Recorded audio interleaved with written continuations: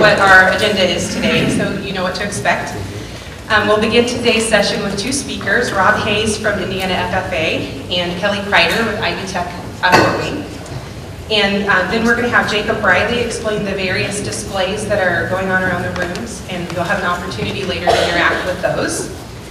Um, from about 8.40 to 9.20, students will have an opportunity to visit the displays and have a chance for a little break. Beginning at 9, we'll start our panel. Um, it'll be about a 40-minute discussion about agriculture and education. After the panelists have prepared the answered our prepared questions, we will open up for questions from the audience. And then our time together today will end at 10 a.m. But first, it's my pleasure to introduce our speakers. Our first speaker is Rob Hayes. Rob is the Assistant Director of the Indiana FFA Association. He helps coordinate and run all state level programs for the Indiana FFA and its nearly 12,000 members across the state. Prior to serving in this role, Rob taught agricultural education at Warsaw Community Schools for four years, and he co advised the Warsaw FFA chapter. Rob is a graduate of Purdue University in agricultural education and served as the state FFA reporter in Indiana after high school graduation. So please give a warm welcome to Rob.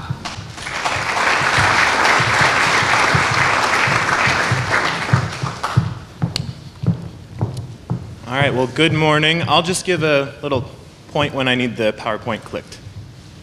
Thank you so much. I'm excited to be back here in Warsaw um, discussing a topic that obviously I find vitally important.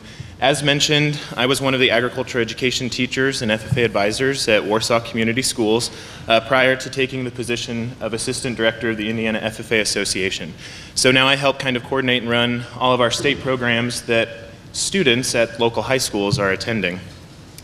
So throughout my time today, I hope that I can impress really just the importance of agricultural education in our communities, what's really included in agricultural education, and then a little bit about where we started and kind of where we're headed in our secondary schools with agricultural education.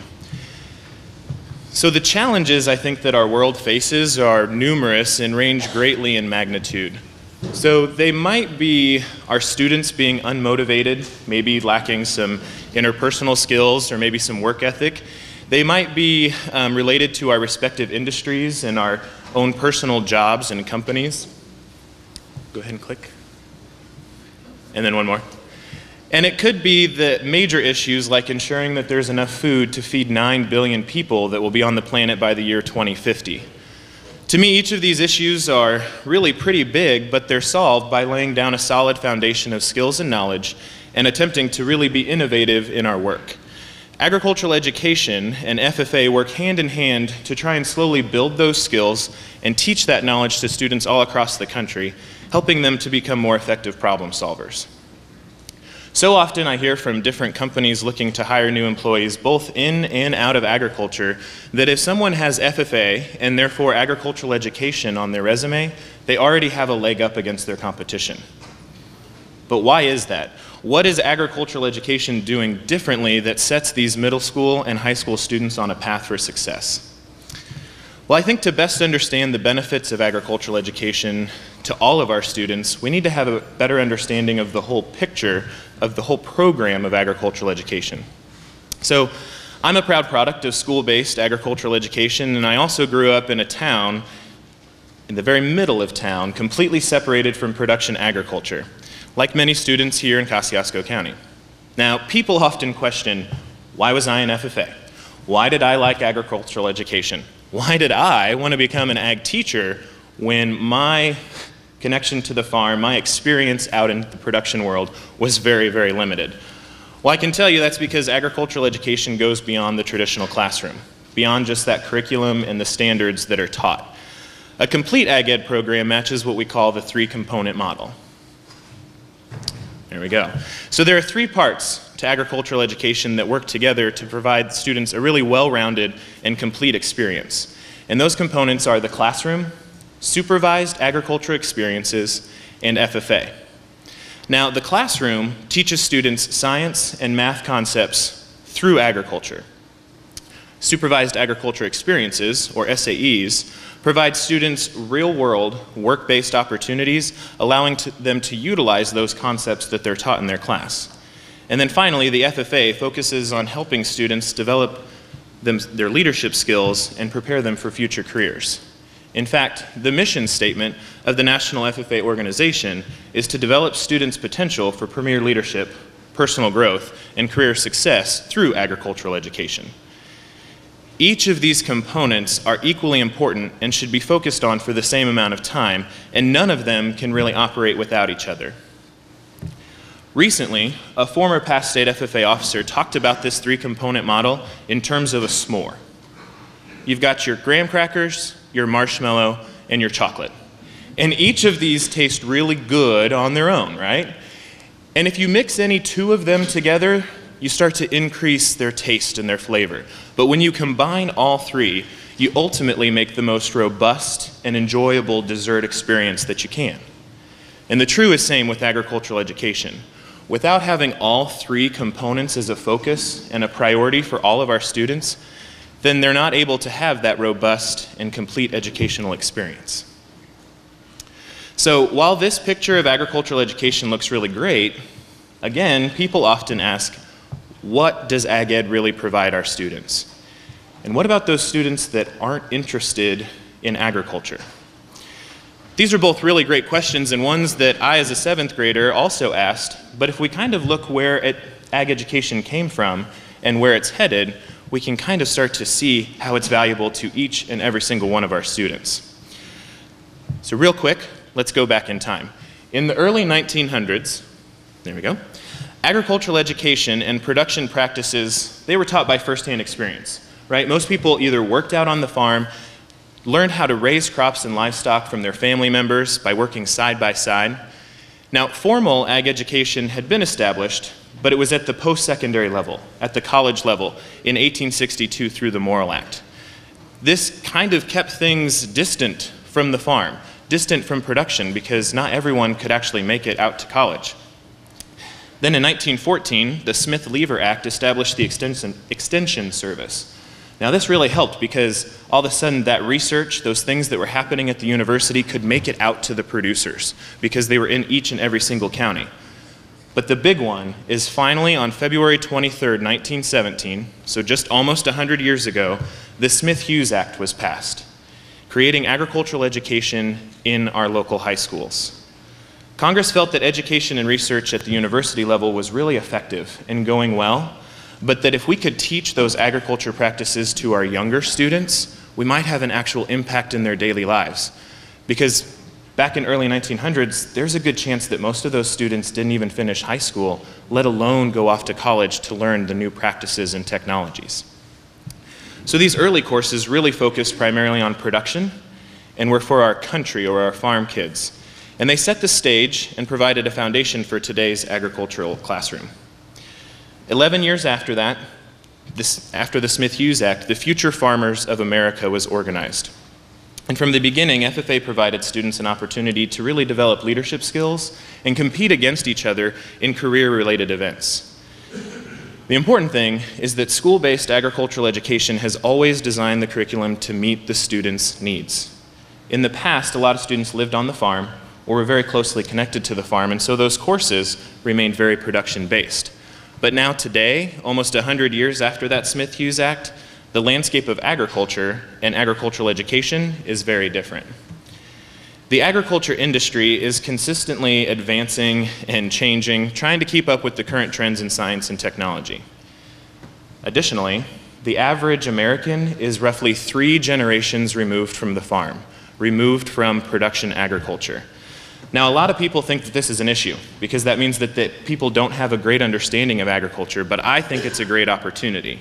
It's an opportunity for us to become more diverse in our base of students. It's an opportunity for us to have increased innovation and advancement, and overall, an opportunity for agriculture to collaborate with other industries. Today, agriculture is quite possibly one of the most diverse industries in terms of career opportunities with over 235 unique careers in agriculture, many of which touch other industries as well. Agricultural education is providing information and experiences related to each of these unique careers every day in the classrooms of our middle schools and high schools. And today's agriculture instructor is licensed in Indiana to teach 15 different courses, many of which you'll have the opportunity to hear about later today. These courses provide opportunities for every single middle school and high school student, no matter their background. These teachers in these courses are preparing students for careers that didn't exist 10 to 15 years ago, and many careers that don't exist right now today. Production agriculture and farming are still very central to agricultural education and FFA. They're our base, but just in a slightly different way as more science and technology continue to be incorporated. As many of you well know, STEM education, or science, technology, engineering, and math, is a high priority in today's educational system. Agriculture is one of the best examples of STEM in my mind because it's truly applied STEM. Often, people look at STEM as four completely separate disciplines. But agriculture combines all four of them to create new technologies, to create new traits in our crops and our animals, and to overall be innovative. Nearly everything that happens in agriculture today utilizes those STEM principles. In fact, just the other week, I was down in Indianapolis at the National FFA Convention, and I saw a Case IH tractor that didn't have a cab for the operator. Instead, it was completely flat across the top, and it was run completely via remote control and other technologies. Last year, I was down at the John Deere School at Vincennes University, and these students have to learn how to work on equipment that has so much technology. In fact, there was an engine block that had over 40 different electronic sensors on it, just on the engine block alone. So not only do those students have to be good mechanics and figure out how to work with that, but they also have to diagnose and calibrate the sensors and computers. If we take that into plant science, we can look at one of Purdue University professors, Dr. Gebisa Ejeta, who used technology to genetically select for and modify grain sorghum to be more drought and insect tolerant and also be more nutritious. This was done in a relatively short research time instead of over decades of randomly selecting different plants and breeding them together, hoping for the right result. Now, hundreds of thousands in Africa have a quality and safe food source. This cross curricular work and this integration of other industries into agriculture isn't just happening out in the field or up at the university level. It's also happening right here in our middle school and high schools. Now, just as ag education has updated and modified the curriculum to meet today's needs and today's industry, so has FFA. Throughout the years, we've added tons of new programs to help broaden our audience appeal than just simply the rural farm kids. Some examples of that would be things like changing our name from the Future Farmers of America to the National FFA Organization. Why? Because agriculture is more than just farming, and we wanted to demonstrate that. Things like allowing females to be part of the organization in the late 1960s. Now they account for 50% of our membership and almost half of our leadership positions. Or even the fact that each of the top 15 most populous cities in the United States offer agricultural education and FFA in at least one or more of their high schools. This is expanding our curriculum into urban settings and generating all kinds of new opportunities for collaboration. Just as the curriculum has been updated, FFA has also increased their competitive opportunities in areas like sales, marketing, and communications. Now, I'm not exactly sure what the future holds for agriculture, for agricultural education, and for FFA, but I do know that it is promising. Everyone in the industry is excited about the growth and the diversification that's been happening in the past few years. And agriculture cannot and will not operate in an independent space. Instead, content areas like STEM and the humanities will continue to be incorporated. You know, originally we referred to teaching agriculture. Then we started to say that we were teaching agri-science. And now I'm even starting to hear people say that we're teaching ag biosciences. The agricultural education curriculum and FFA are constantly being reviewed at the national, state, and local levels, trying to look towards the future to ensure that we're meeting the needs of our students, that we're meeting the needs of our FFA members. One thing I do know is that agricultural education and FFA provide valuable skills and knowledge for every single middle and high school student, even those not initially interested in agriculture. And it's really evident if we break down that three component model. So that agriculture curriculum, it's applicable to numerous other content areas. Let's take animal science, for example. The body systems and structures of an animal are very similar to humans and what is taught in biomedical sciences. In fact, I have a good friend that's a doctor, and when I would share what we were studying in my advanced animal science class, he was always amazed about the vocabulary and the concepts that we were talking about because he didn't cover them until junior year of college. If we look at the supervised agricultural experiences, what student can't benefit from developing work ethic and responsibility that would be valuable in any future career? Through FFA, every student can gain some leadership skills like speaking and teamwork by participating in different competitive events, by being an officer, or organ organizing other activities or community service. Often, people ask our members, they ask our teachers why. Why do you spend all of this extra time outside of the classroom? Why do you spend all this time going to FFA events? Why are you so passionate about these programs? While everybody probably has slightly different reasons or examples, they all follow a common theme, and that theme is something that National FFA has defined as their vision. And that vision is to grow leaders, build communities, and strengthen agriculture. In the end, everybody wants to develop and strengthen our students.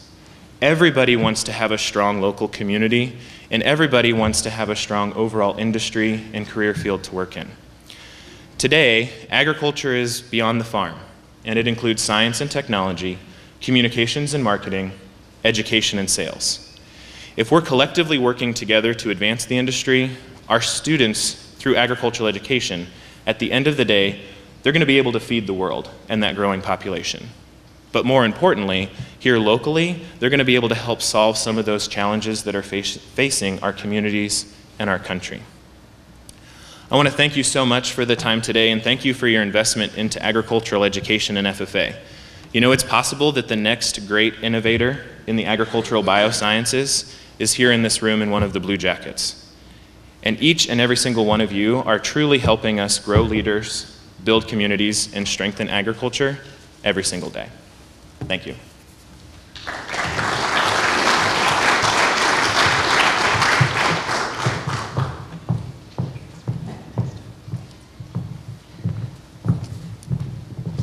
Thank you, Rob.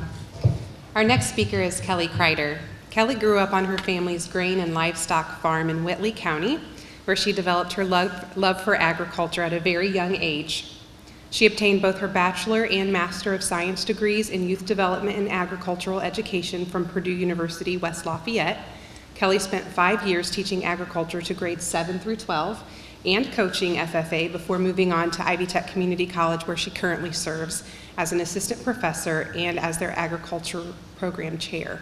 Kelly and her husband Taylor still live in Whitley County with their two boys, Caden and Cole. Welcome, Kelly.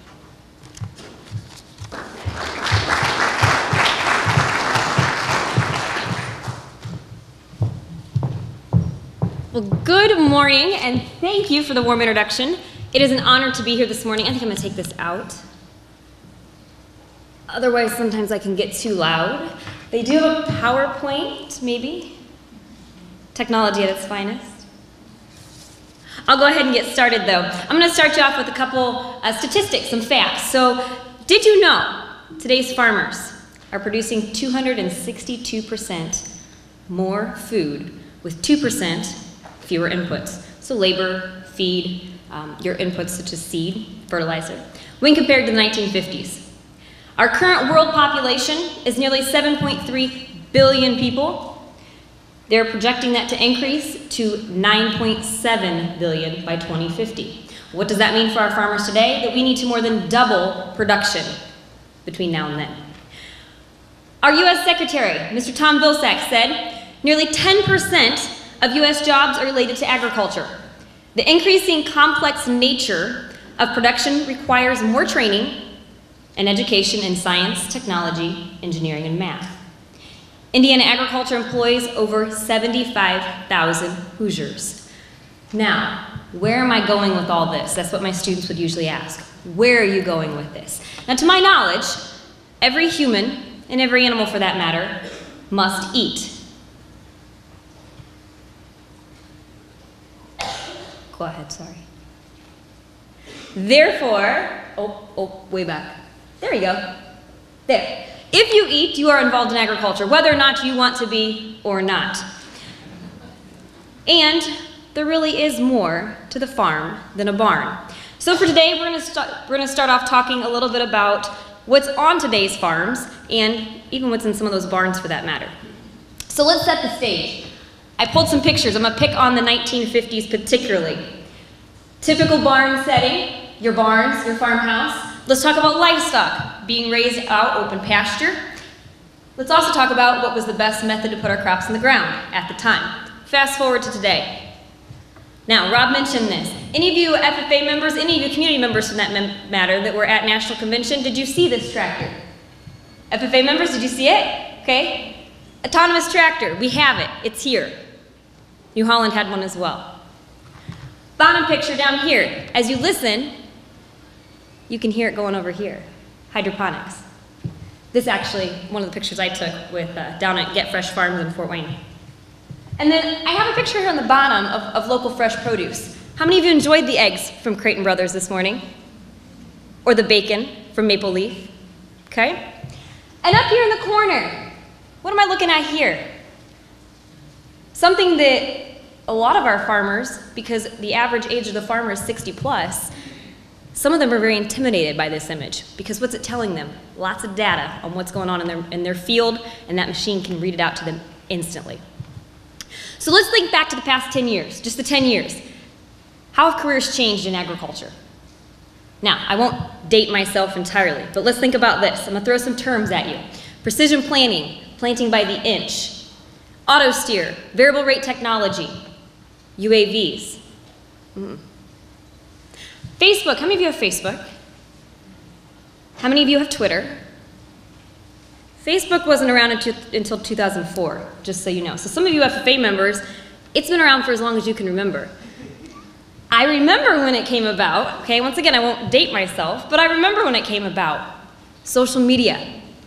Now, as an educator, it's my job to help prepare our youth for jobs that we don't even know that exist yet in the next 10 years. Top five skills that employers are looking for, and I want you guys to shout these out. Top five skills that employers are looking for, what are they? Work ethic. Work ethic. What else? Attitude. Timeliness. Problem solving. Problem solving. What else do we have out there? Reliability. Reliability. Any others? Drive. Motivation, drive, communication skills. What do all of these have in common? Something called a soft skill. And I get asked all of the time as an educator, how are you teaching these soft skills? And you know the best response? You can't teach some of those soft skills. But we can work on it. So here's what we do. My goal is to challenge my students while I have them in the classroom with situations that are going to build on these skills. So for example, what do I do? This is how I answer the question when people ask me. Class begins promptly, let's say 8.30, which by the way, my students are not complaining about having to cancel class for me not being there this morning, so thank you. Class begins promptly at 8.30. What do I do? My door gets closed and locked. Now, not because I'm extremely mean, but what am I trying to do? It's easy to monitor, of course, who comes in late, because they have to knock to get in, so it's embarrassing. But would you be able to keep a job if you showed up late? No. Promptness. We, we need to work on that. Accountability. How about posting the agenda for the class? It's posted online, easy access for students to gain. So they know exactly what we should be doing in class every, every week. I'll throw a curve in their schedule, just a little bit. We need to adapt, guys. We're going to make some adjustments, and we're going to roll with it. Maybe we don't have the lab supplies today that we needed. Maybe your teacher forgot something, so we're going to adapt. We're going to get creative. Of course, we also have projects involving individual work, teamwork, problem solving, conflict resolution. Let's talk about that. How many of you had a conflict with another coworker at some point in time? Raise your hands. And this goes for all of you out here and students. Yes. And how many of you sometimes have struggled reaching a resolution for that conflict? Difference of opinions, right? So, a good example of what I'll give you here of what we've done in class. It's nice because I can set the situation up for them. We can practice this for when real life when they get put out in the, in the workforce. I'm going to give you an idea. For example, organic versus conventional farming. Hot topic for us in uh, northeastern Indiana, particularly in the Fort Wayne area. I have students come to me all the time. I want to grow all organic, all natural, have my own little farm. Do you teach that? Well, we cover a component of that. However, we need to make sure that you're aware of is that always going to feed the, the growing world? So we definitely cover more on the production commercial side, but we will cover organic. So it's a hot topic, very controversial. What's great is I can have students take sides, and sometimes it's not the side they want to take, and then we have to get through that conflict resolution part, and we reach an agreement. Is there a right or wrong way sometimes? No. But we need to hear both parties out. How do I measure success when I'm teaching these skills? Observation of students. That's the, the great part of, of my job sometimes. I can see them in class and I can see them out of class. And I'll share some pictures here of what we do outside of class as well. I also have this class, it's called Seminar, it's AGR 290. Every student has to take it before they can graduate. So it gives me that chance to kind of put my last little stamp on them before I let them out into the real world. We get to start working on job interview skills, adequate training. What is it that you really need to have before we turn you loose out here in the, in the world? Now, we've got community members here. FFA members, I have a question for you. Raise your hand if you work someplace.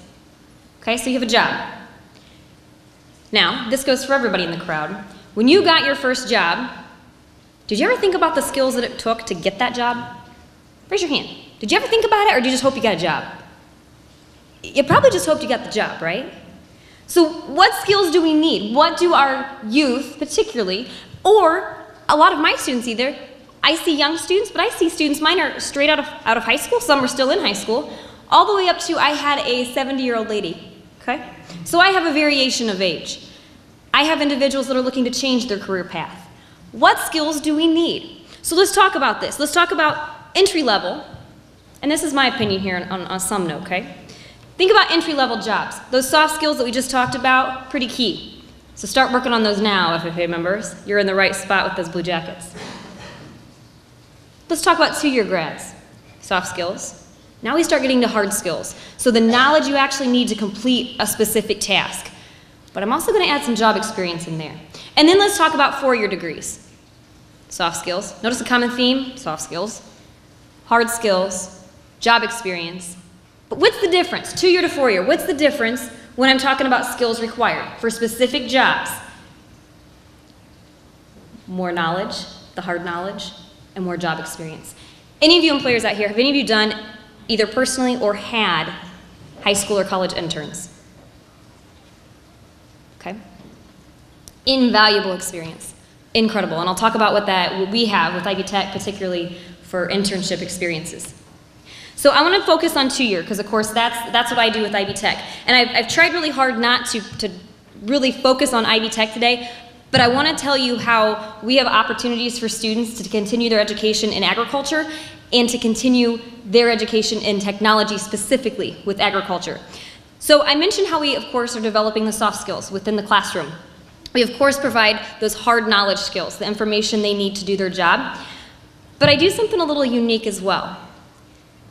I'm to go to the next, next slide. There we go. Our two different degrees, and it's important that I, I, touch on this briefly so you understand where I'm coming from. We have two degree paths within agriculture, our AS degree and our AAS degree.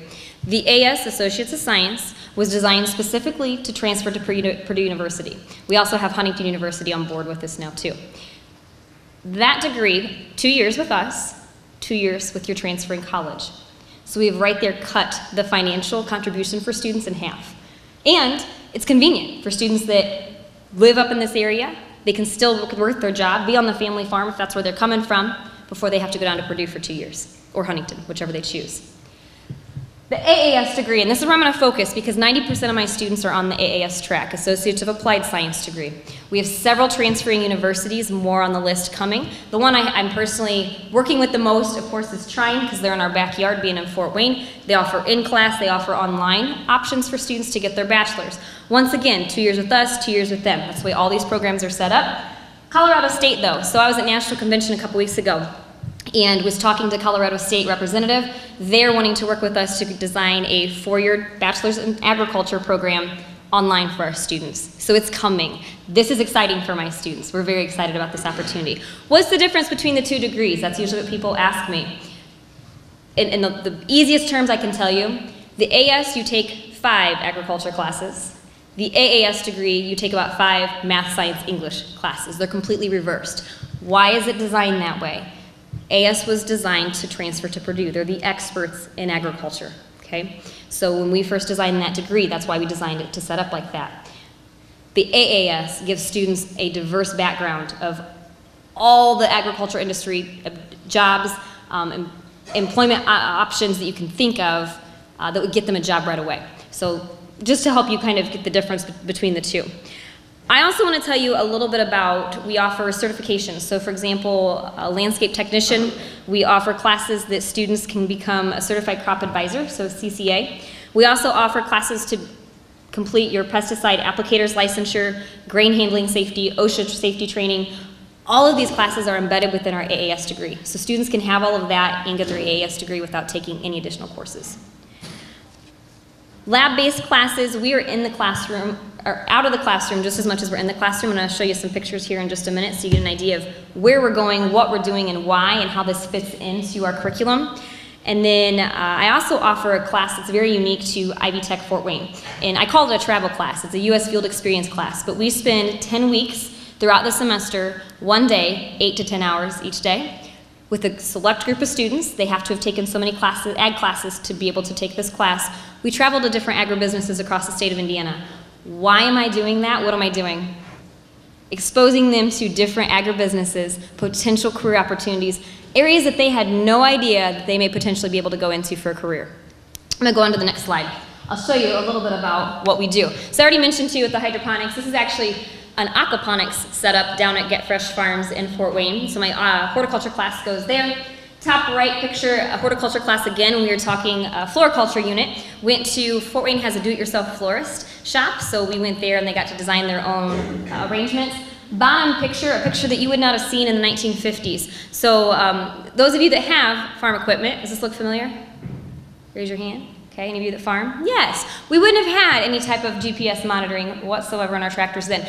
Great opportunity for my students here though. So another fun fact, I would say 75% of my students come to me with not a whole lot of agriculture background experience. Now, they may have come with an FFA background or 4-H experience, but not your traditional farming.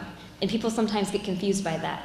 And, and I like that Rob mentioned agriculture education has changed. And we, have, of course, are seeing that in the college level too, that our students are coming to us with not that farming background whatsoever. So it's my job to give them experience. If they're interested in working, particularly, uh, let's say that they're going to be troubleshooting or setting up the uh, monitors for the tractors, the combines, whatever have you, it might be helpful if you've driven one at one point in time. So, my class, my crop production class, I give them that opportunity to be able to do that if they've never done that before.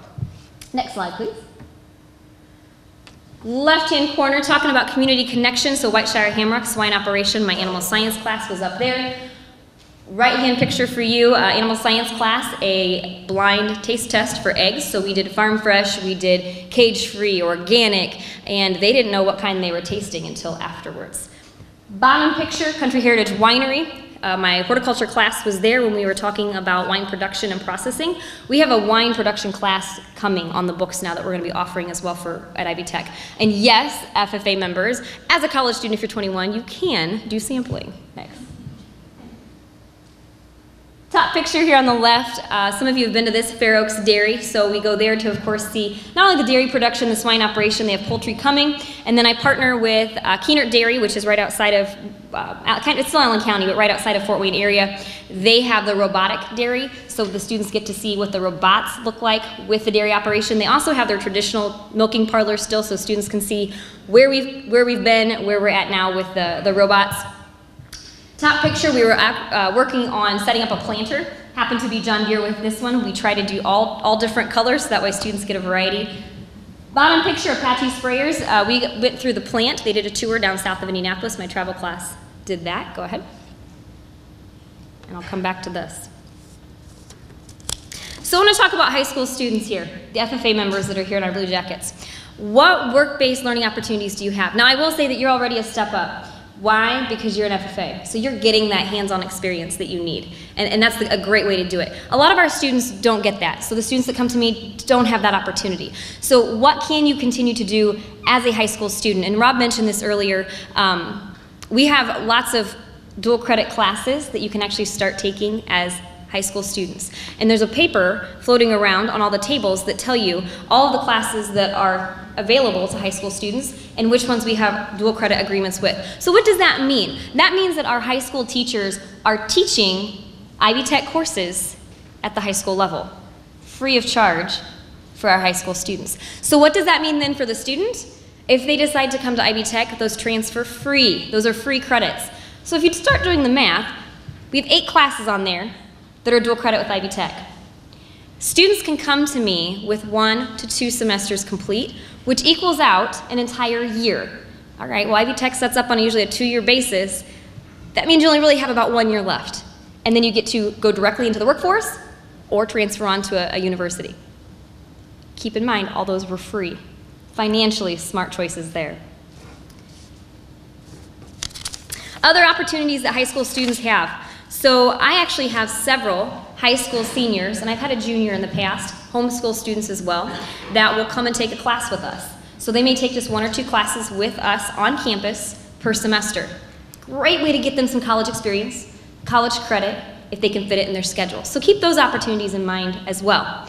I also do something, this will be our second year for it, coming up this Friday. So UFFA members, if your advisors haven't mentioned anything to you about it, here it is. It's called iCareer Ag Day on campus. What we do is invite, it's for FFA, FFA minded here, districts two, three, and six, so the northeastern corner, um, students. And the reason I invite them is because our other campuses for Ivy Tech that have ag programs are Kokomo and Marion. So I try not to get too close into to their territory, if you will.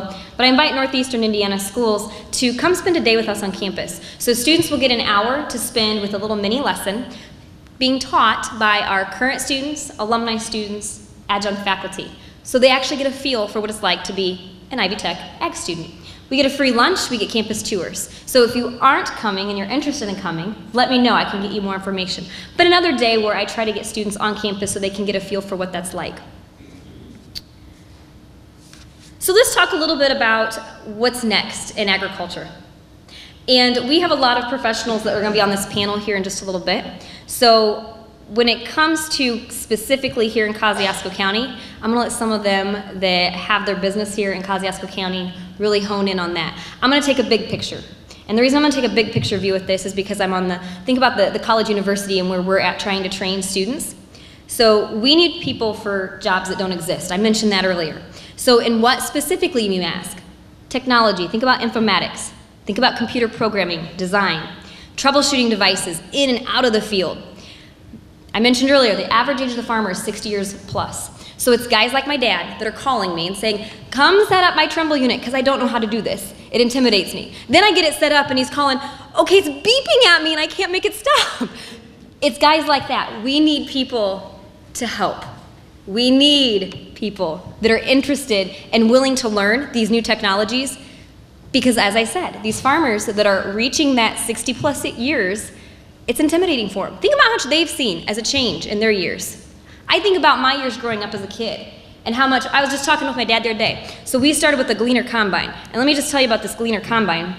I remember, because of course, no heating, no air conditioning.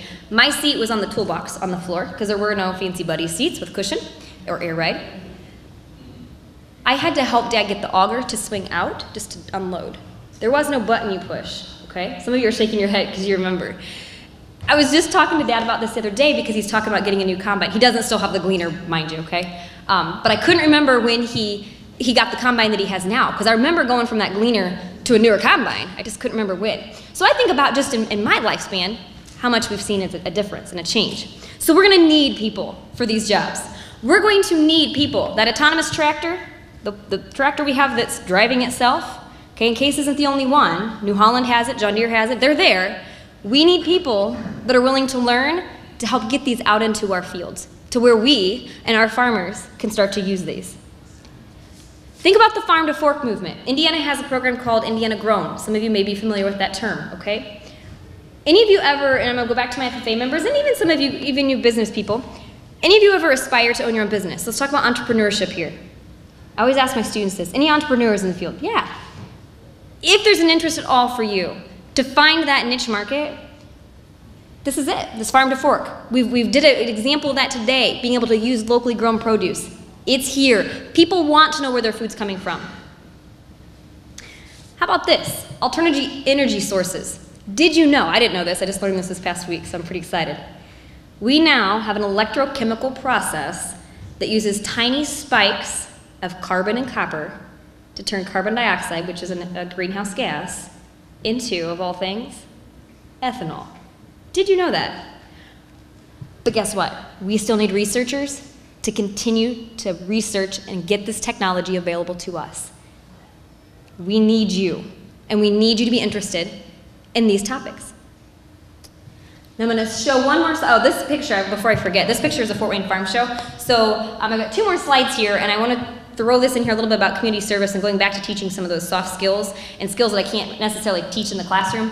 So Fort Wayne Farm Show, we do a booth where my students actually, for my classes, rather than being in class that week, I cancel class, and if they were to be in class for three or four hours, they work the farm show for three or four hours. Go ahead.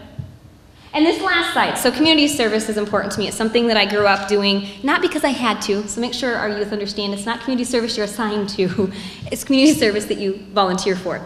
And so we do a lot of different things in the community, and these pictures here particularly are with a local fall festival. It's something that's close to me because I grew up doing it with my family, so I got my students involved. Uh, we do a, an exhibit in the parade, and then we do the, there's an NTPA tractor pull, demolition derby, so my students help with that. What's really neat is we actually were given, we did the 50-50, and they decided, the tractor pullers decided to give us that money from the 50-50. Nothing that we would have ever anticipated. We just did it for fun and great advertisement for the program. But sometimes when you're, not, when you're least expecting uh, surprises, you get a nice surprise. So that was, that was really nice. And my last slide here, so any of you that are interested, uh, we do have a Facebook page, speaking of, of, social media. So Ivy Ag Innovators, it's our student organization on campus.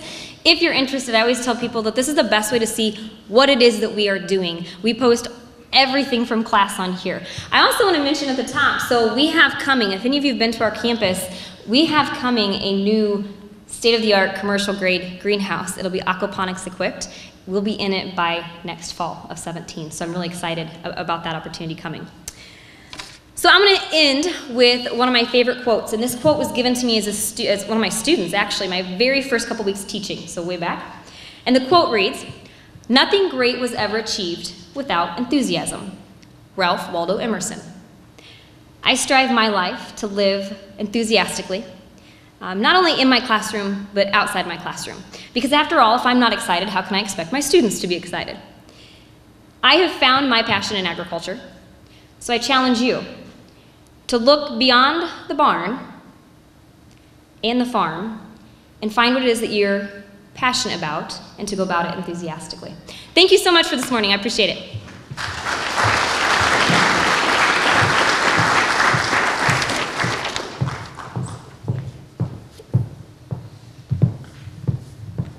I can see how she is um, helping teach enthusiasm, can't you?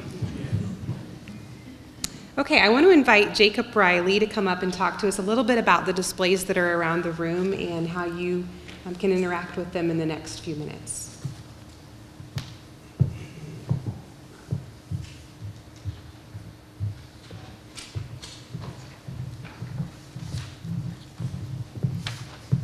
Good morning.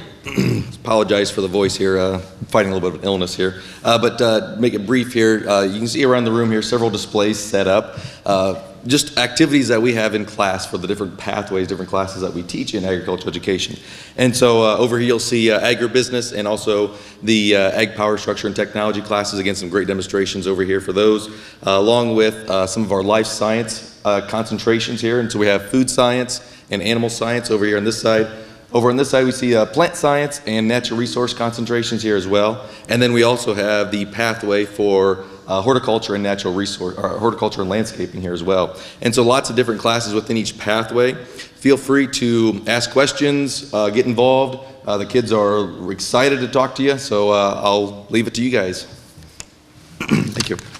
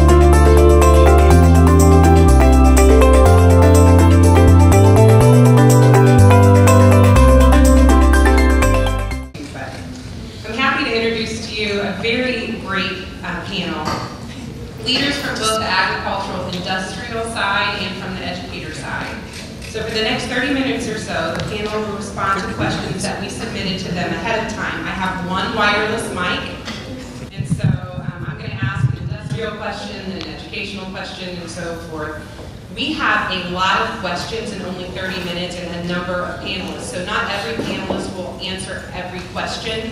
Um, So what's going to happen, panelists, is if you feel particularly um, called to answer a particular question, I want you to kind of raise your hand and I'll pass you the mic, and if no one does, then I will assign someone to answer the questions. Don't let the power go to my head, volunteer, okay? Okay, so on the industrial side, and I'm going to read them in the order that they're on my sheet so that I don't miss anyone. So if you'll raise your hand in case everyone doesn't know you, we're introducing you. Kip Tom. Kip is a past candidate for U.S. Congress, Indiana's 3rd District, and is the chairman of Tom Farms and Sayers Incorporated.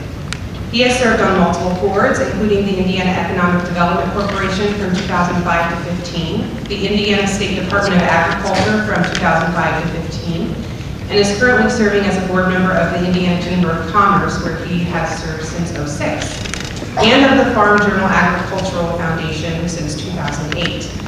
Started his career as a production and production technician for Tom Farms in 1973. He has progressed through many management capacities and currently leads all finance, strategy, and production operations in the U.S. and South America for Tom Farms agribusinesses. He is also a consultant to both Granular Ag Management Software Company and institutional investors in ag equities. So we'll save our warm welcome and applause to the very end, but welcome Kip. Jeremy Mullins. Jeremy is a 1995 graduate of Purdue University School of Agriculture. Having served on various industry boards over the years, Jeremy currently serves as a board member of the Indiana Soybean Alliance. He is also currently a board member of Kosciusko Economic Development Corporation, Kosciusko County Community Foundation, and Warsaw Community School Board of Trustees. In his free time, he enjoys coaching youth sports at the YMCA. He lives in Winona Lake with his wife Oksana and his daughter Bailey, who's five, and his son Ivan, who is three. So welcome, Jeremy. Tyler Bass is from Mentone, Indiana. He was born and raised in Silver Lake, where his parents still reside. In 1998, he graduated from Purdue University with a Bachelor of Science degree in Agricultural Systems Management. He married a fellow Purdue graduate, Melissa, in 2005. They have three children, Nash, who is eight, Gentry, who is six, and Remington, who is three. All the children are proud Bulldogs at Mentone Elementary School. He's a district sales manager for AgriGold Hybrids.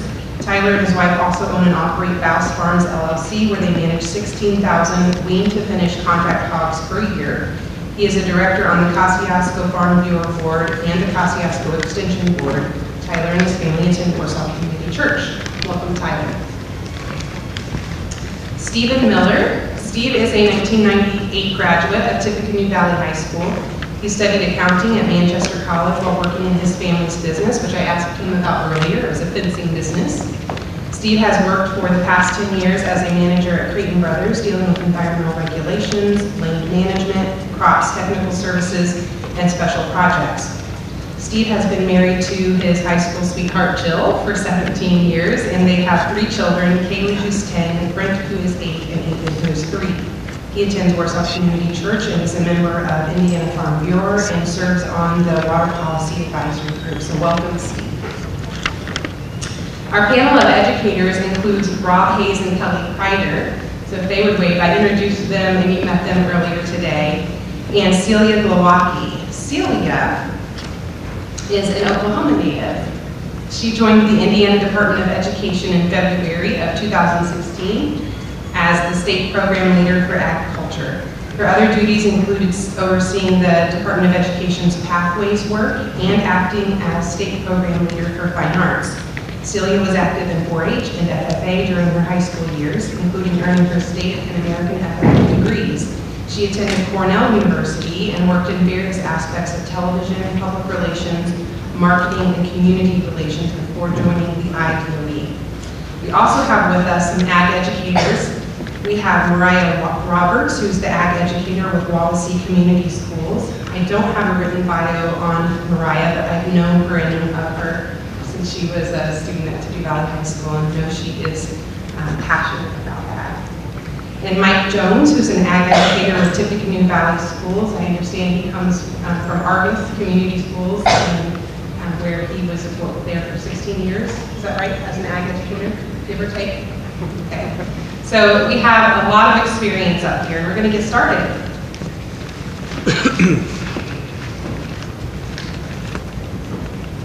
All right, my first question is for industrial leaders. To make sure we have our mics turned on here. All right, how have career opportunities in the ag industry changed in the past 10 years? There are a couple of sub-questions if you want to address either of these. So what skills are needed, maybe that weren't needed 10 years ago? And um, specifically, what are some of the soft skills that are necessary uh, for career opportunities in the ag? So how has it changed in the past 10 years, and what skills and soft soft skills are needed? Do I have a volunteer? I did bring notes, so I wouldn't talk till lunchtime, so feel free to step in, Kip, and correct me. man. So I think uh, what I've seen the past 10 years is uh, the demand for agriculture jobs has just skyrocketed.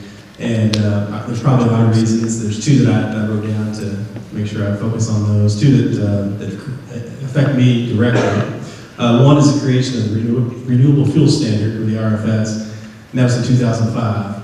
And the other is, is the, uh, what affects pretty much all industry, but specifically agriculture, is just the rise of the middle class in China. Uh, the RFS, what that means is it created our, so, our biodiesel plant in Claypool and all these ethanol plants that are around the Midwest. So all that came of uh, because of the, RFS. And what that is is a mandate to use so much biodiesel and ethanol. And that's a, an environmental reason is why it was created, but also to help create real jobs and all those things. But because of that, there's a huge demand for soybean oil to make biodiesel, which in essence means a huge demand for soybeans, and a huge demand for ethanol, or for corn to make ethanol. So uh, that one act back in 2005 has changed the agriculture world. Uh, it, it, it's been half of my career. It's been since then. I've been doing this for over 20 years, and half of it's been since the RFS. So it's made a huge impact. Uh, not just globally, but here locally. I mean, obviously, what we're what we're doing uh, in Claypool, and then what all the farmers and uh, the, the other industries that supply us have, have done since then. And of course, the rise of the middle class in China, like I said, has impacted a lot of industry, uh, most mostly agriculture, because of their demand for meat. They have more money in their economy, so that's created uh, a huge demand for meat, which means demand for soybean meal, uh, corn, other types of feed. So that impacts all of agriculture, not just what I do as a processor, but the farmer, of course. It's really changed the, the, uh, the landscape for, of pricing. Uh, input costs is probably the biggest impact because we had a, uh, a huge surge in price over time, but then that's backed off. However, input costs have not, so that's created more challenges there. So uh, these, these two things, like I said, uh, have created, uh, created a demand that affected all of agriculture, which means a demand for jobs for students to come out and help do all these, these things that we need done. Um, for example, Dean Akridge at Purdue has told me on many occasions that they cannot produce enough ag econ students to meet the demand uh, in, the, in the industry. So there's so many jobs out there we can't fill. So what type of skills? Uh, the most basic, I think, and that affects all jobs. Um, talking about entry-level jobs. At our facility, for example, we have office staff and we have production staff out in the plant, the manufacturing plant and computer skills. It, sounds so obvious, but uh, I guess, you know, I'm 43 years old. We didn't really use computers growing up. Uh, they existed, I think, in some places, but not in Clark County, at least not in, or New Washington, where I went to school, and not at, uh, at our high school level. But today, every kid has computers, right? And you'd think they'd all come out knowing how to use them, but I'm always surprised how many high school graduates come to work for us that can't use Microsoft Excel, that are unfamiliar with Outlook and basic computer skills that I just take for granted. Why wouldn't you know that? But I guess they're all using their phone. They don't use phones, but they don't really know how to use computers. So it's such a generic thing. I know it's ag specific, but it's the one thing that I notice the most, and it drives me crazy when somebody says, "Well, I don't know how to save this file." Why not? I've got a 73-year-old man in the office that can do all kinds of things in Excel. Why can't an 18-year-old who comes right out of high school? So, so those are some entry-level skills that I think that are very, very important, and I, I think they're very basic, but uh, they're, you, know, you, don't, you don't want to take those for granted. Those are, those are needed, and not everybody that comes out of high school has those. As far as two-year, four-year degrees, uh, I think things like accounting, engineering, finance, HR, uh, all those types of things. But the most important skill is independent thinking, is in my mind. And uh, I know there's some educators sitting over here, there's some sitting out in front of us, but you know, the, the whole, you know, I don't, I'm trying to get stay off my bandwagon or my soapbox about the, the it's testing. Uh, I've been on that since I was a kid taking those tests. But we don't care about test taking, right? We care about independent thinking and problem solving and the things that Kelly talked about earlier. Uh, those are what's really important, and um, I think that's something we all need to, to work together. There's different communities here. We're one big community, but we have a lot of little communities within us, and we all need to work on those kind of things, uh, solve problems, working together, um, all the soft skills that, we talked about. And if you want to continue, there's a question about how do we, what do we do to help develop those soft skills? Um, like she said, some of this stuff's internal, we're born with it, either you're good at it or not. But we have a program called, we call it DNA. It stands for Developing New Aptitudes. It is a continuous improvement program. And uh, one of the, the modules in there is, is called self-development. And that's where we try to improve these soft skills. And one of the, the basic fundamentals of that self-development module is an internal locus of control. And that's believing that you control your destiny, that you control the outcome of things. Uh, external locus of control is when you're a victim all the time. So what we try to do is, I- this is the module that I'm in charge of. Um, I guess I have about the highest internal locus of control of anybody I know. I think I can control everything. You know, even though I know I'm wrong about that, I still don't stop believing that. And that's what we need to get more people to believe. Know, don't be a victim. Uh, things don't just happen in life. You got to make them happen. Uh, and your success depends on yourself and you own. So, um, so those are some of the ways that we try to teach the, the soft skills that we've been talking about. Go ahead, before I keep talking. So everybody knows the challenge we have as an industry, and it's not just agriculture, it's food and agriculture, beverages. It's a whole supply chain getting consumer, but we've got a hungry world to feed. And everybody knows we're going to be doing that with less resources than we have available to us today, whether that's land, water, uh, the energy we consume.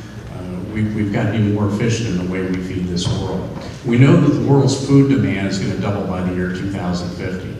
So think about that for a moment. We've got to double the world's food supply because of changing incomes and growth in population, but at the same time, we're going to have less land to do it with. So one of the pathways to get there is the adaptation of technology. I don't care whether it's in a, in a hog building or the technologies you use to, to monitor temperatures and, and humidity and what you do with your feed rations to change and how you produce a product for a, a pork hog for a specific end use and what we do on the grain side or seed production side, we've got to deploy technology. And data science is one of the ways to get there. We all seen the, the autonomous track record. We've got one order to be here in 2018, probably one of the first ones out. But that's that's cool and that's sexy, but that's not really where it's at in the future. The future is where the way we apply data science to uh, our protein production of whether it's chickens and eggs at, at Creighton Brothers and hogs, or the way you apply some of the sciences at uh, Louis Dreyfus companies around the globe. Those are the things that's going to revolutionize and give us the ability to feed that hungry world. Our family settled here in 1837. I'm the seventh generation farmer from northern Kosciusko County, and George Tom's role was, with his nine children, just to produce enough food to feed their family. That's all his goal was at that time. Maybe produce a little commerce on the side. Well, it's different for my generation. It's going to be much more different for my children and my grandchildren if they choose to farm. So the burden's on us. The burden is on us. And as an industry, we need to be more involved. And I challenge the rest of us in this room to take that, that, that challenge and make a difference at our schools. I think we've got to work with counselors. We've got to support our educators, which we don't have enough of. I've got a granddaughter, and uh, she's a freshman here at Warsaw, and she's going to be an ag educator, she claims. But we've got to have more. We've got to bring our youth along the way, and we've got to help them understand what our needs are. It's not just driving a tractor. There's nothing wrong with that, but it's we've got to get people that can think critically. They've got to be problem solvers. They've got to look to the future. They've got to be entrepreneurs. You know, one of the things that we're doing in our business, and one of my roles right now, is strategic development of, of some food products from the products we produce, because value add opportunities to feed that growing population is going to be one of the keys to our success. So um, we need it all, but we've got to work with our educators to make sure we support David and the other educators in this room here that lead uh, great schools in this area and make sure they have the tools to advance these kids. Thank you. I'll touch on a couple, uh, because it's really interesting to see the Blue Jackets out here. Uh, It's exciting, because the more you get involved, the more confidence is built, the more ambition, the more motivation, because um, as, as a younger person going out into the world, whether it's you're going on to college or whether you're going into, uh, in- into a career afterwards, uh, the more experience you can gather through programs in schools such as FFA is critical. Um, soft skills versus hard skills. Somewhat of a newer tech wording to me, and I've educated myself on this the last couple weeks. So, so, I, so it has changed a lot because when I was in high school, which doesn't seem like that long ago, but in 1994 when I graduated, I learned how to keep, how to type on a typewriter. Well, the next year, all those were taken out, and it was changed over to a, a computer. Uh, we, we really have had to adapt, and we have adapted fast. Uh, soft skill or hard skills, I think one big change we've made is the hard skills are more your, your hands-on experiences, I would call them.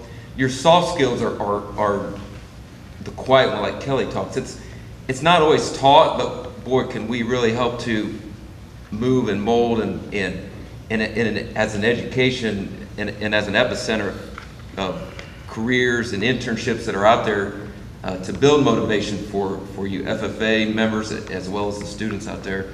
Uh, it is critical because as it moves into technology, y- you know, I, I equate it to, I'm diabetic. I've got an insulin pump on my side. It's not a beaver. I'm not that cool still. Uh, I've got an insulin pump on. I remember taking shots all the time, and then in 1998, I went to an insulin pump, and, and it's, it's amazing. The medical industry is moving fast. However, I, I would almost argue that the ag group is moving faster because, you know, that's cool. A tractor that runs by itself, that you're going to be in a cloud, you can sit in an, you can sit in one particular spot and manage all the data coming in from that. That is that is exciting, and I think those opportunities are what lie out there for us. Um, the, the the ag industry is large and broad, from processing uh, to logistics to the hands-on uh, uh, farm level, which we still need, and we still need entrepreneurs there. Um, But, but I, I love working with, with groups in high school through the, uh, through the SAE program. I've worked with some of the Grange. It's exciting to see uh, the opportunities that exist for everybody out there. We just have to uh, continue to mold those soft skills, I believe, and FFA does a great job of doing that. I just like to add, like, as I walked around, looked at all the areas here that we had, um, Creighton Brothers is a vertically integrated company. So we start from growing the feed to raising the chickens to producing the egg to then do the value add that Kip talked about. Um, and then we sell that product and it's just the full circle. Um, so every item that's out here, we have people that do that in our company. We have about 320 employees now. Um, but as I pointed out to the gentleman over here for the uh, ag power and structural and technology, all those careers, sometimes that's one guy. Um, we're so low staffed anymore that one guy needs to be diverse enough that he can do all that, that he can problem solve. Um, we've got all these tractors that do everything else, and I'll get a phone call and I'm driving down the road, and the guy in the tractor goes, My steering went out. What do I do? And sometimes I want to say, The wheel in front of you drives just like your car. You can still grab it and drive. but they'll sit there and wait until you show up and do it. But you need to be able to look through and um, know enough technology that you can walk someone through those steps just in your head because it does change all the time. And we have Case tractors, John Deere tractors, and they're all different. They're all similar, but everything's different. So you have to be able to adapt and be very diverse in your knowledge base. Um, my last comment is everyone's young. Um, I'm 36 years old, and some people have worked at Creighton's as long as I've been alive. So when you're the young person going into a new company, you need those people skills to be able to talk to that guy that's been there longer than you've been alive so he doesn't think that you're coming in, you think you know it all.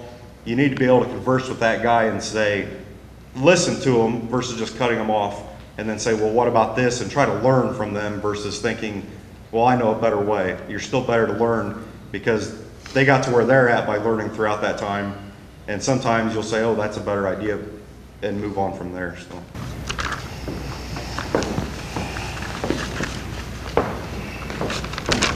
Thank you. I'm going to switch over to our educators for the next question. You know that one of the strong components of ag, and particularly FFA programs, is the, um, the teaching of leadership skills. So in your ag programs or in your, in your programs if you're not at the high school level, how are you teaching leadership skills and what other career skills are you teaching? So whoever wants to take that first.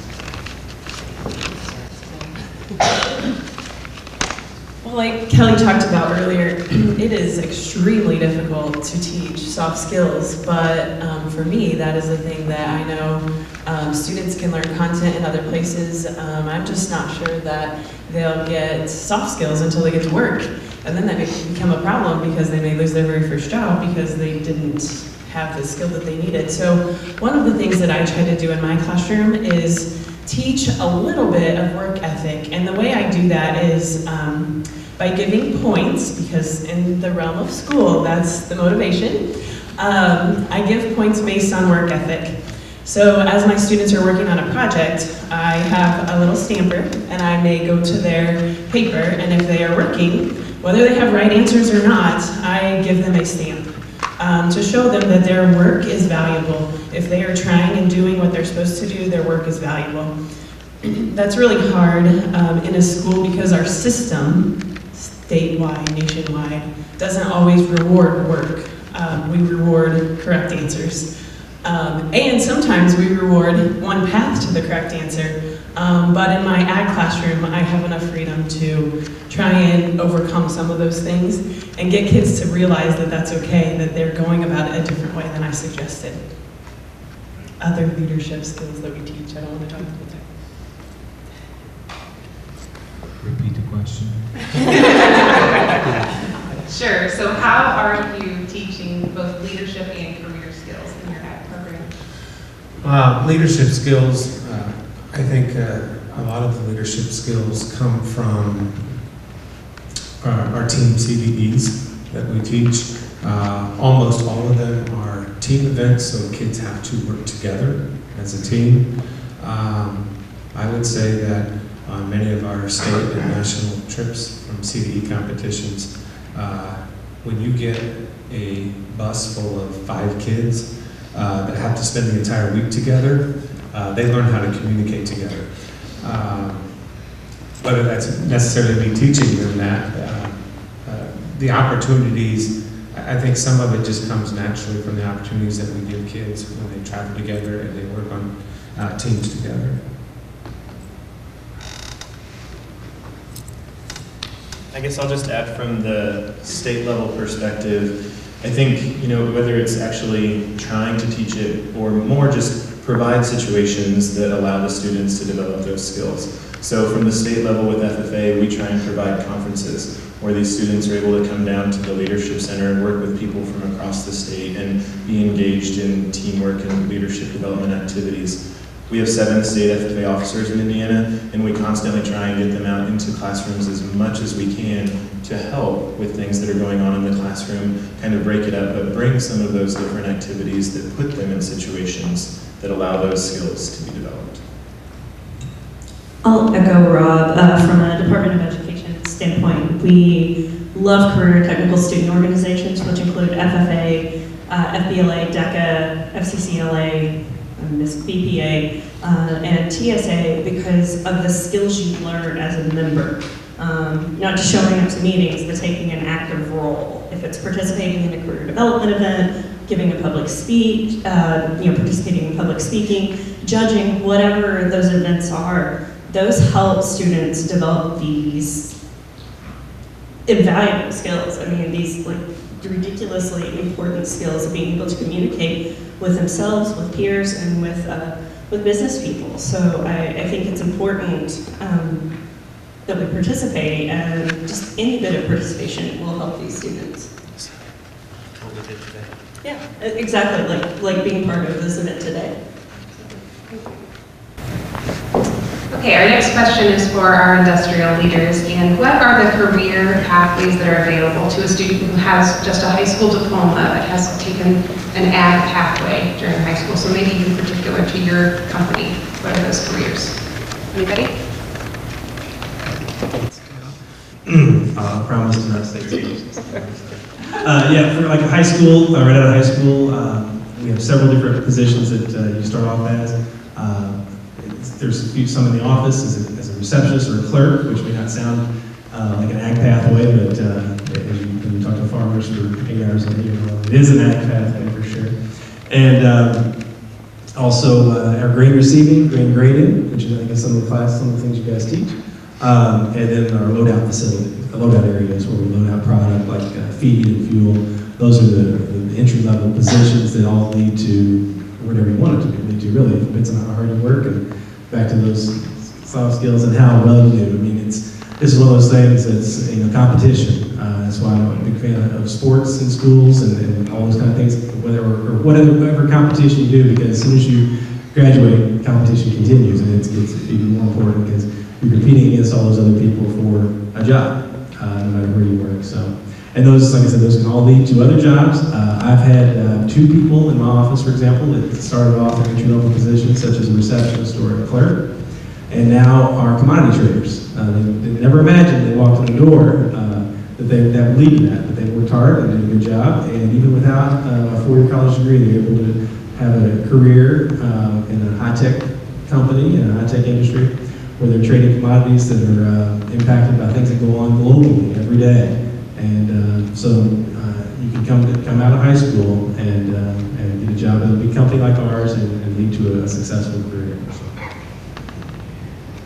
You know, not a whole lot to add to that, but, you know, we look at it in the- this perspective. We, we look at those who come out of high school and want to work on the farm. That's all good, but at the same time, we're going to encourage and we'll usually support financially going on to Ivy Tech, going on to Huntington, getting some, working and trying to get that education at the same time, because we want to have an employee that is, that continues to grow throughout their career at our place. So, um, but, but as far as, you know, we got some people we work with. We own part of a company with Google in San Francisco. It's a data science company, and I see some guys, folks in there that actually came from high school, and they're writing some of these advanced algorithms that we use on our farm today. So uh, the college education is really important, and any advanced degrees beyond that's important to us. But you know, at the same time, we're, we open with our arms. We welcome uh, anyone that just comes out of high school and wants to make a choice to, to be a part of agriculture because we think there's a lot of opportunities, we want to help them. So uh, we do have roles for them today, but it's, it, those roles are, it seems like they're diminishing. We have less and less needs for that, so we want to help advance. The, the first and foremost, I, with the right amount of motivation, um, you- whether you're coming out of high school or out of college, you, you can achieve a lot, just like uh, a lot of the programmers, uh, they, they've just learned it through experience, self-taught. Um, so, so that, that's the first part. And I work with a lot of internships in college, in- interns in- that are in college and in high school. Uh, and I can tell pretty quick uh, whether they need to be a data programmer by using a phone or be involved in the day-to-day activities of, of what we're, we're focused on. So the right amount of motivation and focus, you can achieve a lot. Now, th- that goes back to if you, as you're coming out of high school, uh, work with an employees, employees, because a lot of times you can fast track that time frame by getting further education, but you can also still work. A lot of those early ones coming out of high school, there's a ton available. More of those are the, the hard skills, the hands-on, and as you, as you adapt and learn what is needed, um, uh, you, may move up or, or move on for, for something different uh, based off what, what you've learned. But uh, um, there's, there's a lot involved in agriculture, whether it's in animal science area where, where you're doing hands-on or whether it's agronomy. Um, I know there's a lot of opportunity in the agronomy fertilizer area for, uh, for, for, and it's exciting because a lot of it's done through some sort of data program to understand that information that is gathered out there. In, in the high schoolers, as, as, as they're coming out, a lot of them have been taught that through programs such as FFA, which is uh, still critically important to, to understand. I guess just from watching people in the last 10 years I've been at Creighton's, one thing to keep in mind is there's opportunities everywhere. Um, it's up to you to set yourself apart from that other person. Your motivation is what drives how high you'll go in whatever company you work with.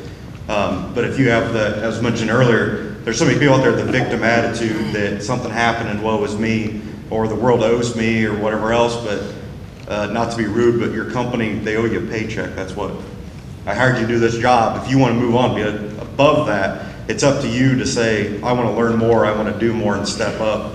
Um, Even when I worked with my family business, so many people said, well, I don't want to do more. You pay me more, I'll do more, and it's, that's not the way the world works. It's, um, you do more and show your worth, and then that's how you move up. Uh, the world doesn't really owe any of us anything.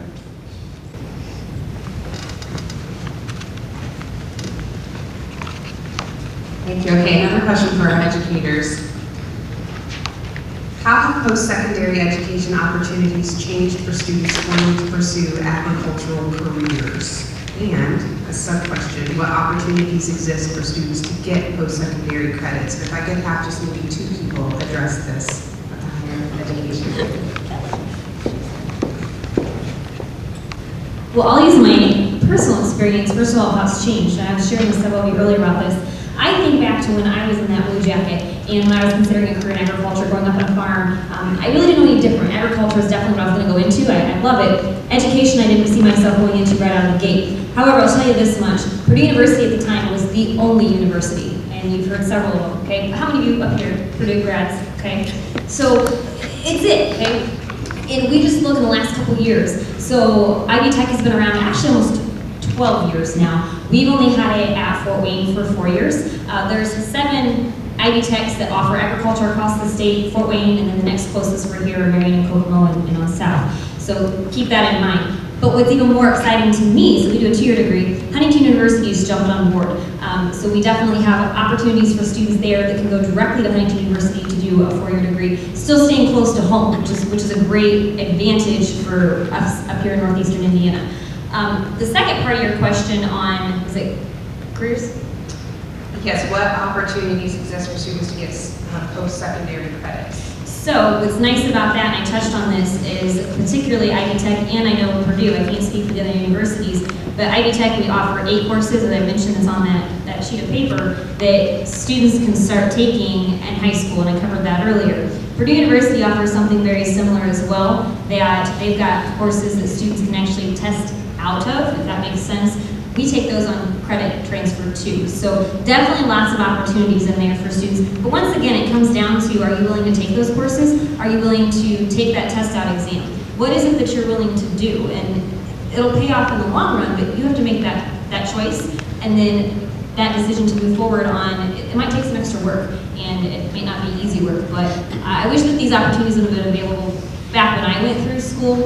Um, for lots of reasons. Not only just to be close to the family and farm where I can still work up here, but think about financially. I don't know how many of you are thinking about scholarships or if you have to pay your own way. I paid my own way. And had it not been for my FFA 4-H background and raising livestock and being able to sell, I tell my students I sold off my dairy herd, so I had Holstein heifers. I would sell them off to help pay my way through Purdue University. Now, looking back, my dad gives me a hard time because he says, you would have kept them, you'd have had a great dairy operation. Yeah, well, I also had a bunch of debt at Purdue, so uh, that was that was my goal was to get through here. So uh, just from the, my perspective, I guess. Just one thing to add is that um, awarding college credit at the high school level is really important. I'm actually going to let Celia talk a little. Okay.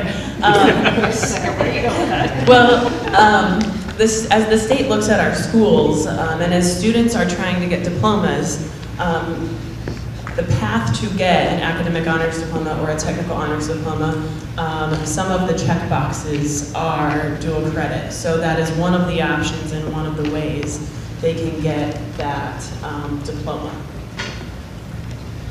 And with the post-secondary and the dual credits, it's important because not only are you alleviating that debt, and like Kelly said, I wish I had that opportunity 20 years ago, but sadly we didn't. But um, think of the workload that takes off your parents and you guys uh, just by being able to take an ag- animal science class and, and come home with a handful of credits with that. But those honors diplomas, whether you're completing your pathway, uh, which is just basically taking um, a specialized path to graduation through your ag classes, whether it's intro to animal science to advanced animal science, or intro to ag business to power and structure, you complete those pathways as a student, and it's an extra tick for the school and, and, and, um, and an accolade for that, but it, it helps you towards that diploma and that graduation. Thank you.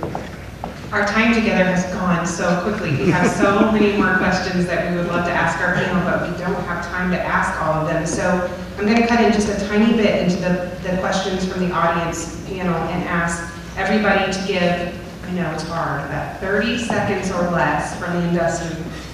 What's coming next in agriculture for our community? It was the last question you brought up. So I mentioned this to some of the students over here that were showing their uh, personal protective equipment, and I said, yeah, you know, SHE is one of the big things that's, that's really affecting agriculture. I think it's going to go towards the farm uh, eventually, and it's already there to some extent, but not enough. I don't know regulation, but we want to save lives, and uh, it breaks my heart every time I see a story about a farmer that was injured or killed in a grain bin accident or whatever. Um, SHE is SHE stands for safety, health, and environment. So I apologize if I'm using acronyms that people don't know about. You guys do the same thing. So, um, and that's something that's going to be coming from industry to the farm at some point. And the other thing that's more um, uh, immediate is the, the Food Safety Modernization Act.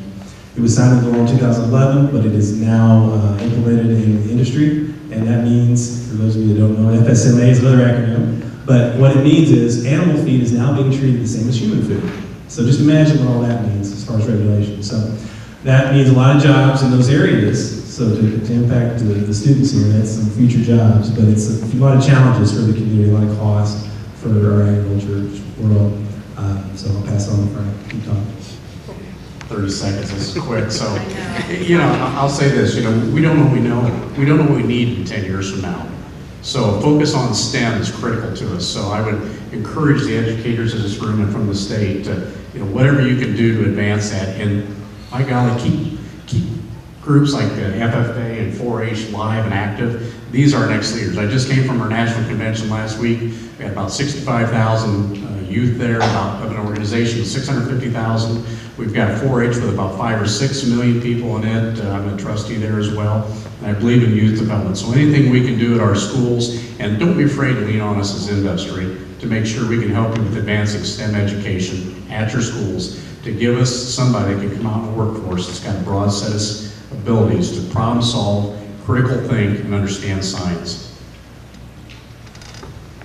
Yeah, so uh, I talked to a couple people here before I came up here that had been to the FFA convention. Kip was one of them, and Kelly was the other. Uh, they, they were, and I've talked to a couple in the industry, also kids that came back. They were so excited. It, it is exciting what they saw there, what the opportunities that lie, whether it be in data acquisition and animal agriculture, uh, ventilating a barn correctly, or whether it be in the seed industry. There's, there is so much uh, regulation and, and understanding the technical side of it that has to take place from breeding uh, a new corn hybrid to implementing it and getting it uh, in, in getting it populated to where we can spread it out to the farmers to plant. Uh, that that there involves a large number of people and a large number of critical thinkers, uh, and, and it is just exciting to see uh, the FFA and 4-H continue to evolve. Uh, and I think that it's critical that we that we keep these activities going as well as STEM to uh, get these soft skills developed so that, uh, that when they're put out in, the, in, a career opportunity that, uh, that we're, we're always going to fail at something, but as long as we learn from those failures and move forward in a positive fashion, uh, that's what everybody needs to remember. You're with these guys, they all said it very well. Um, like just the, creating the regulations we all talk about, like we've added jobs just to deal with regulations as they come out. Um, your FDA, your USDA inspectors all go in our chicken houses now. Um, they're west of uh, Warsaw, we're building a new feed mill to deal with the feed part of it because it's just all those regulations that um, do create jobs and we all spend money on. So.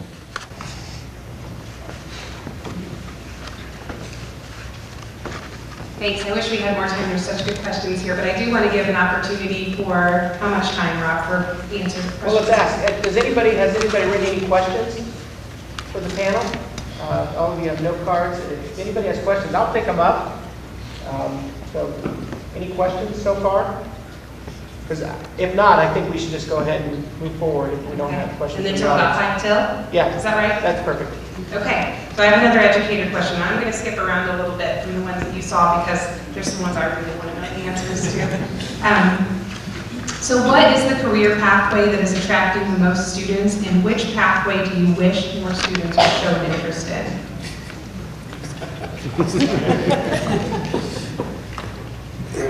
I think, uh, and I don't know if this will ever change, uh, but kids like animals. And, uh, Guess what? You're not all going to work with animals the rest of your life. Uh, And that's not being mean. Uh, It was about five years ago, uh, a publication came out, I think it was from Pioneer Hydrants. Um, They had uh, 1,500 jobs that went unfilled because we do not have enough students in the plant, botany, and genetics program. And as the business people over there were saying earlier, we've got to feed all these people. Well, that's where it starts. It, it starts with these large ag companies being able to get the genetics to whatever it is that they're producing 20 more bushels of corn per acre, whatever, that's where it starts. And it, it's hard, in my mind, it's hard to get kids interested in that side of it because everybody likes fluffy animals. I'm going to bounce off of that because, you know, as I've thought about this, it's at our school too. Um, kids have a cat or a dog or a hamster or a goldfish from the time they're three. Kids don't care about plants because they're boring and they don't talk back. Um, kids love video games because they start playing computers and video games. Should I admit that my less than one-year-old has seen my phone screen? you know, um, they, they've dealt with that stuff for a long time as I try to think of a possible solution, the only thing in my mind that I can come up with is trying to give kids experiences at a younger age. Um, and for schools, that's very hard because it requires another teacher. It requires money to pay a teacher to stay after school and start a garden club, a, a construction club, whatever it might be.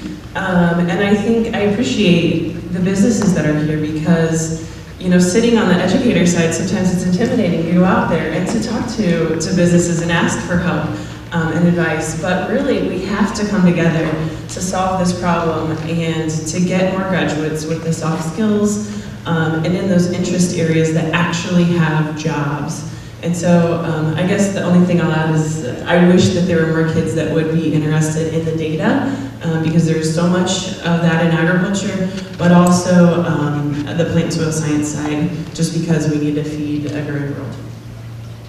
I would just quickly add, I agree with all of that. I wish more people were interested in the agribusiness pathway. Um, in each of these companies out there, there are people behind the scenes that are lawyers for the ag company. They're in finance for the ag company, sales, marketing, communications. We need all of those things, not just people who can do the actual day-to-day production, but we need all the support in those companies as well. And I wish we could attract more students into that.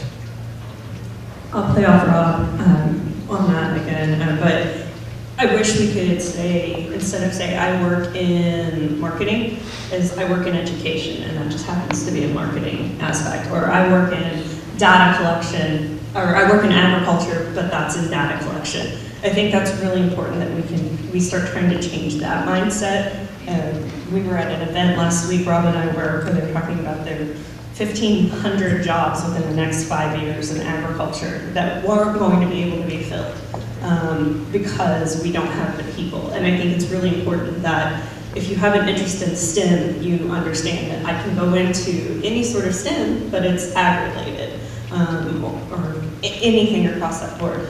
I also selfishly, um, was um, education. Um, we need teachers. Uh, without teachers, without Mariah and Mark and everybody, we're going to run out. Um, and, my, and we're just going to run out of being able to teach these young people, whether it's in an ag class or English. So I think it's really important that if somebody does have that itch to teach, that we encourage them to teach whatever field, whatever subject, because we are going to eventually run out of those educators for K through 12 and even in the preschool level. Okay, last question, and it is one for the educators, but I invite any, anybody from the side of the stage to jump in. Um, I think we're all in this room interested in the answer to this question. In what ways, um, in what ways does the community currently support your ag education programs, and what are the gaps that the community could come together to help fill?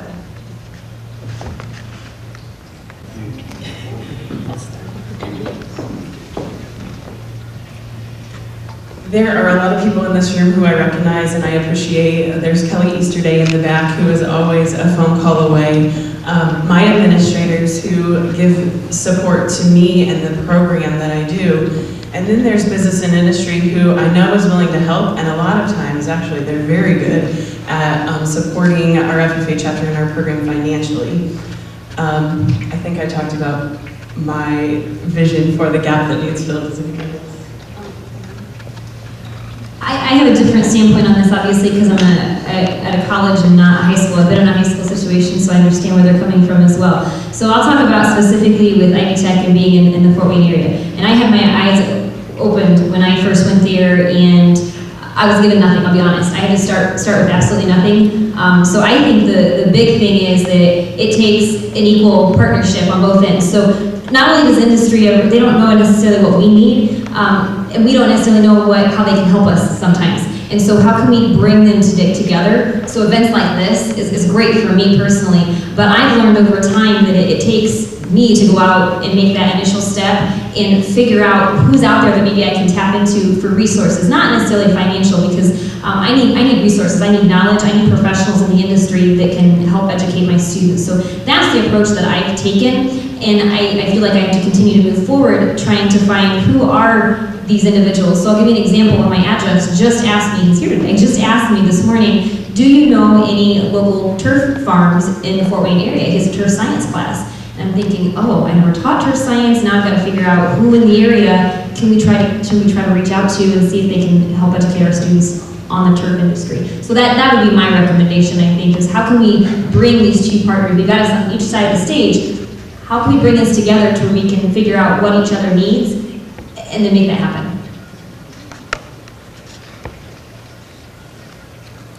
Uh, I guess I'm a little different because I've only been at my school for about three months, so I don't know a lot of business people yet. Uh, but uh, I guess that was one of the draws uh, for uh, me to leave my previous job in, in the Tippecanoe Valley uh, was because the large amount of ag businesses uh, that are in the school corporation um, which we've already dealt with some. Some of my students that are here today were the strikers for uh, the ribbon ceremony they had about a month ago. Even things like that are, those are to me good bridges. Uh, the kids are seeing the industry in a whole different perspective than what I can ever teach it in class. Okay, uh, I think sometimes uh, people think it's all about donating money, like I said, and things like that. It is things like that that's going to stick in the kid's mind um, about maybe future employment and opportunities of going to college. You know, I came with a community with one, virtually one ag business in the entire school corporation, with the exception of local farmers.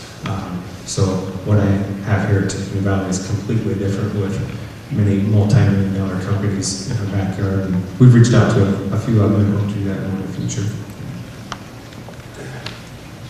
At the Department of Education, we are really pushing work-based learning.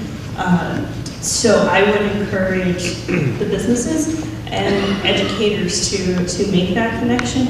Uh, and think about work-based learning as an opportunity to work on your supervised agricultural experience or an internship almost. And I know there's age limit or age and all kinds of other legalities, but that work-based learning will really help a child develop their student, develop their pathway. Um, it may spark that interest of let me go sit in their front office and help with clerical work, and all of a sudden it sparks that interest in data, or maybe I want to be a seed tester, or just you know it opens your eyes. And I think work-based learning is an important, important part of the educational experience. One last thing to kind of add to that is at the state, one of my roles is also to be over at the um, Alumni Association for the state. And one thing that's kind of unique about the FFA alumni is that alumni doesn't mean that you were an FFA member. Alumni means that you support FFA, whether that's a parent, whether that's a business. Um, anybody can join the FFA alumni. And really, I'd almost love to see that change to just be volunteers, right? FFA volunteers. The job of an ag teacher in running an ag program is huge, and it's a lot of time, and there's all kinds of different things that you could come and volunteer to help um, at the local ag program. I hardly know probably an ag teacher that would be like, no, I'm good, got it. um, So just being able to offer up that time and talent in those things that you're really good at could really help out um, and, and be a great partnership. Rob? Thank you very much, panelists. Can we please show our appreciation for their...